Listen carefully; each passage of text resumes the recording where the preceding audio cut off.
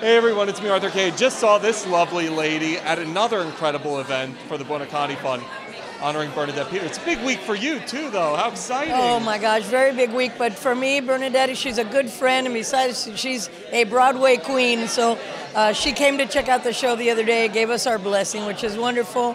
But to be a part of such an exciting week for us and such an exciting week for Broadway, 100 years of the Broadway League is quite something. So it's great.